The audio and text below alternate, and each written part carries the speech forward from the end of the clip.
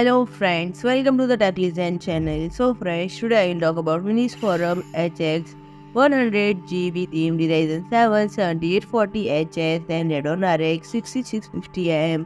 So friend, Minisforum has launched the HX 100G addition to the Neptune series following the HX 99G mini PC.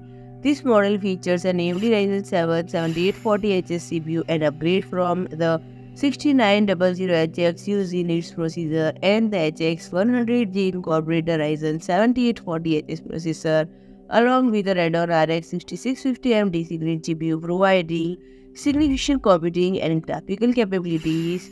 So friend, the product has an integrated Radeon 780M GPU with the Radeon RX 6650M which include 28 compute unit and 8 GB of DDR6 VRAM making it suitable for gaming applications. Despite changes in the CPU, the mini PC retains a similar form factor to its processor.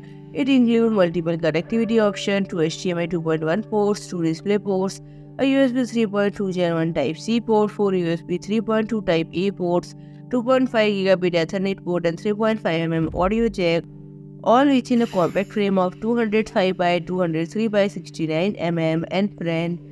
It offers customizable configuration with option for 1TB SSD and either 32GB or 64GB of DDR5 4800 memory. It also has two M.2 2280 slots for further expansion.